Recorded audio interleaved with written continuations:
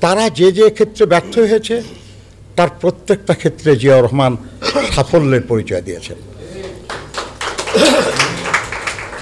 আগের সময় দুর্ভিক্ষ হয়েছে, আর জিয়াউর রহমান সাহেবের সময় খাদ্য উৎপাদন অনেক বেড়েছে, গিনিতে চাল রপ্তানি করা হয়েছে, বিদেশে চিনি রপ্তানি করা হয়েছে।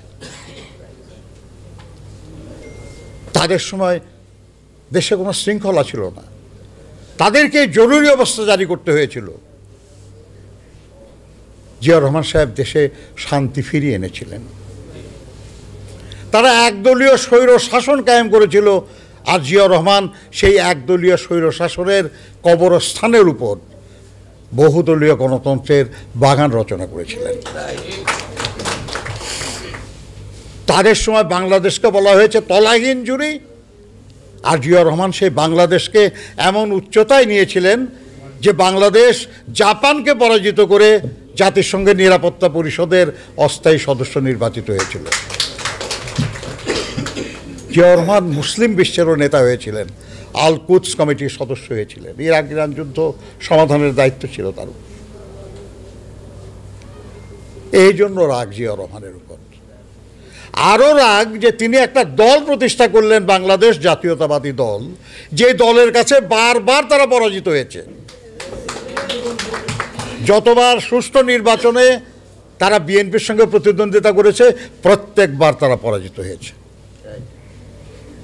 এমনকি দুই হাজার আটের নির্বাচনে তাদের আন্দোলনের ফসল ওই এক এগারো সরকারের সঙ্গে ষড়যন্ত্র যদি না করতো, তাহলে সেই নির্বাচনেও তারা বিজয়ী হতে পারত না। আর এরপরে তো নির্বাচন হয়ই নাই। দুই হাজার চোদ্দ সালে কী হয়েছে আপনারা জানেন? দুই হাজার আঠেরো সালে কী হয়েছে আপনারা জানেন? সবই জানেন আপনারা।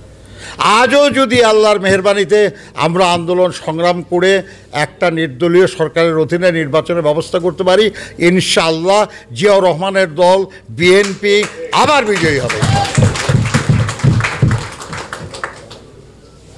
এই কারণে জিয়াউর রহমানকে ভয়।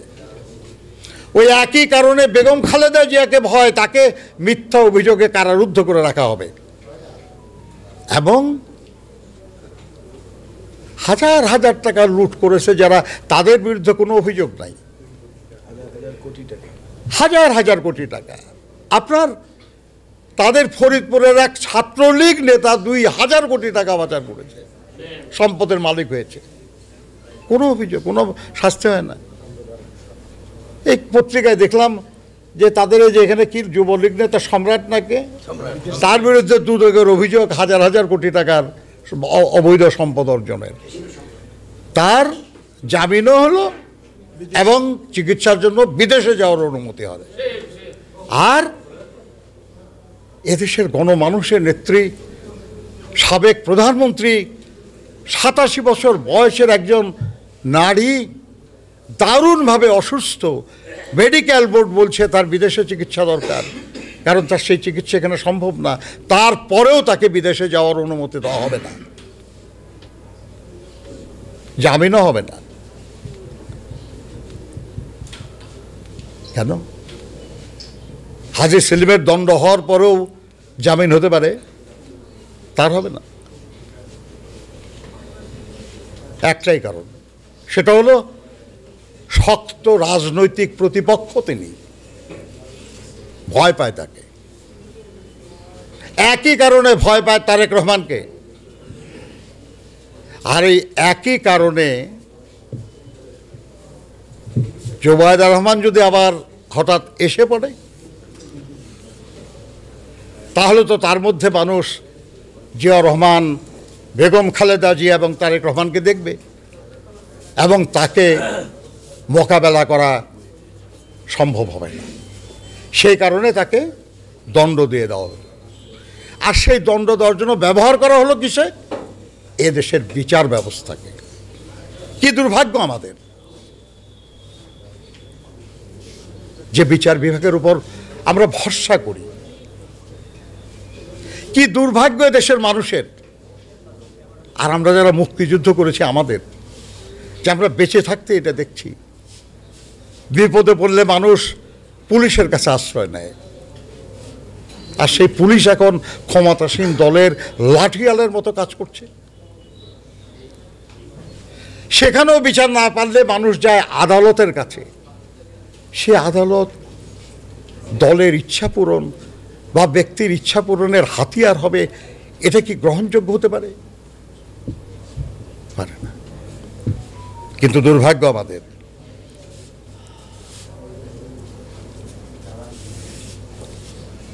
বুয়েটের আবরার হত্যার আসামি মুক্তি পেয়ে যায়।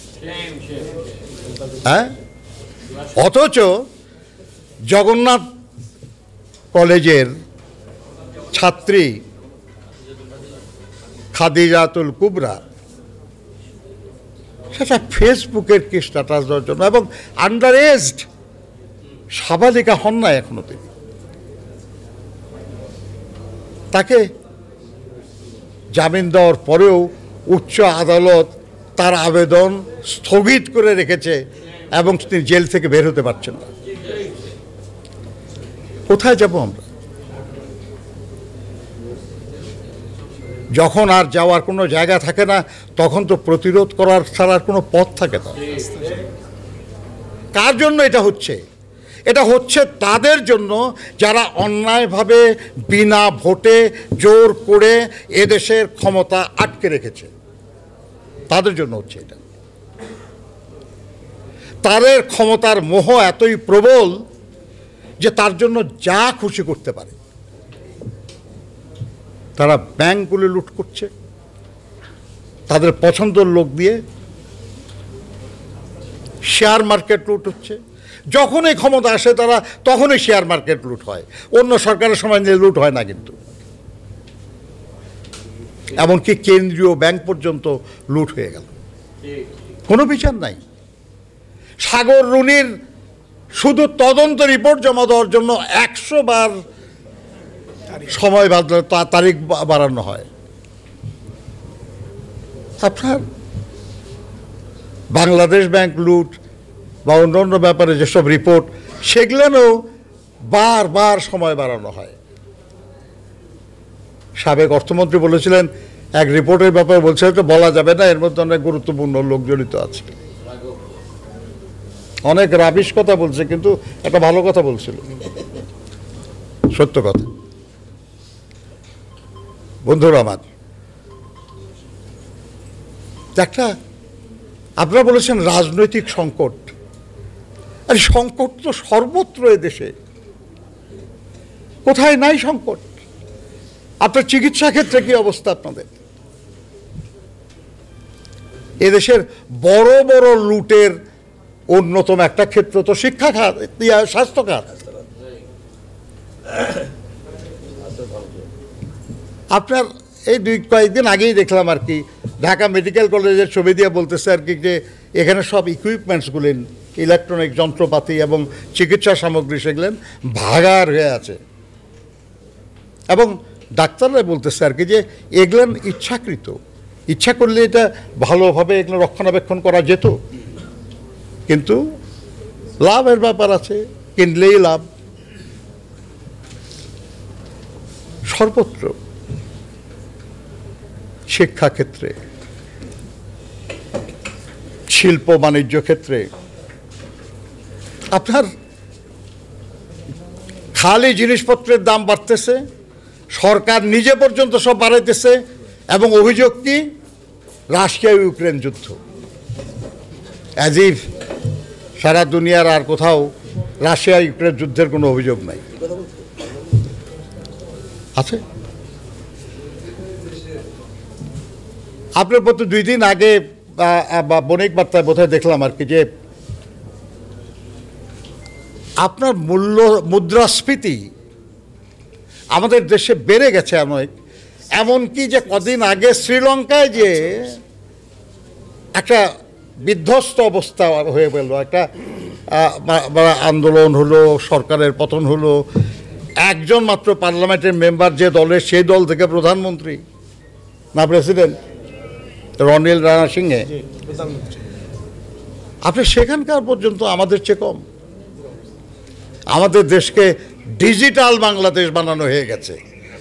অথচ রিপোর্ট বলছে যে আমাদের দেশের ইন্টারনেট স্পিড এই গোটা দক্ষিণ এশিয়ায় একমাত্র আফগানিস্তান আমাদের চেয়ে কম, আর বাকি সবার স্পিড আমাদের চেয়ে বেশি। ডিজিটাল। ডিজিটাল চুরি আর ডিজিটাল লুট নিশ্চয়ই হচ্ছে। এ থেকে মানুষ মুক্তি চায়। মানুষ পরিবর্তন চায়। মানুষ বাঁচতে চায়। বাংলাদেশের কোনো শ্রমিক, কোনো কৃষি শ্রমিক, কোনো সরকারি কর্মচারী নিম্ন বেতনভোগ যারা, কোনো ক্ষুদ্র ব্যবসায়ী হালাল উপার্জন করে জীবিকা নির্বাহ করতে পারছে না। অথচ এরাই সংখ্যাগরিষ্ঠ।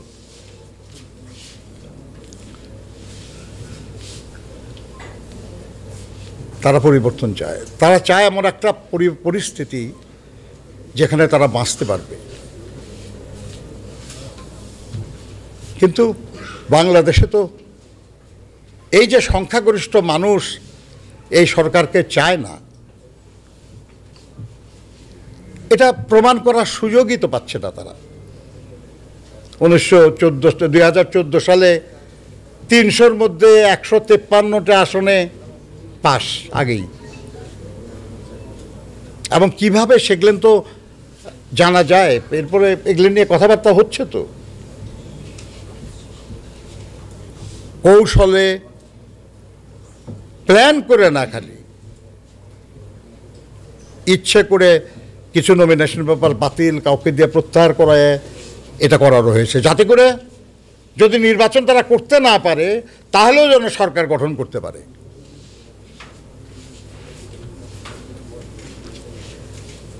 আর দুই হাজার আঠারোতে কী হয়েছে আমরা সবাই জানি। আপনার নির্বাচন কমিশনের লোকরাই বলতেছে যে আমরা এবার নির্বাচনের দিন সকালে ব্যালট পেপার পাঠাবো, যাতে করে রাত্রেবেলা কেউ ব্যালট পেপার ভরতে না পারে।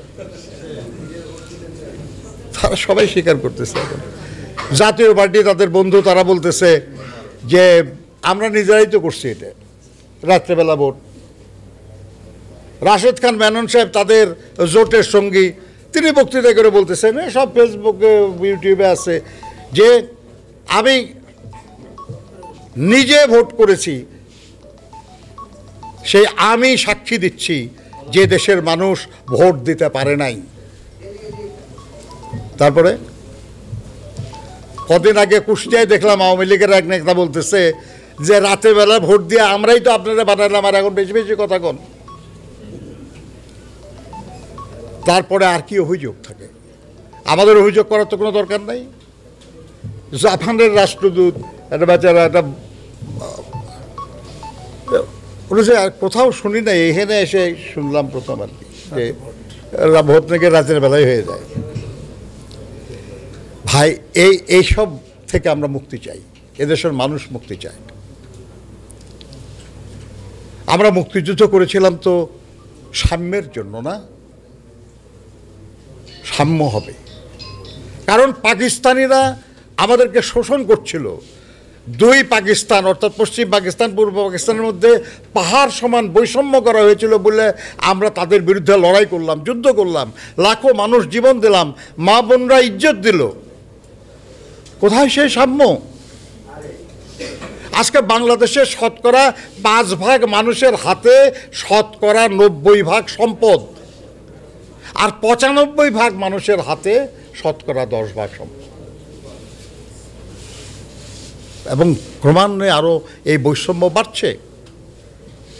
পত্রিকায় রিপোর্ট হয়েছে যে করোনার সময় থেকে এখন পর্যন্ত কয়েক হাজার, প্রায় চোদ্দ, পনেরো হাজার নতুন কোটিপতি সৃষ্টি হয়েছে।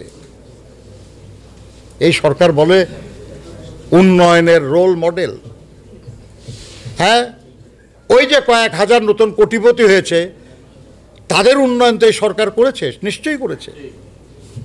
কিন্তু বিভিন্ন রিসার্চ অর্গানাইজেশনের যে রিপোর্ট যে প্রায় সাড়ে তিন কোটি মানুষ এই সময়ের মধ্যে নতুন করে আরও অধিক দরিদ্র হয়েছে। এই সাড়ে তিন কোটির তো সরকার এটা না তাহলে। কারণ তাদের তো উন্নয়ন হয় নাই। তাদের আরও ক্ষতি হয়েছে। প্রতি বছর বেকারত্ব বাড়ছে।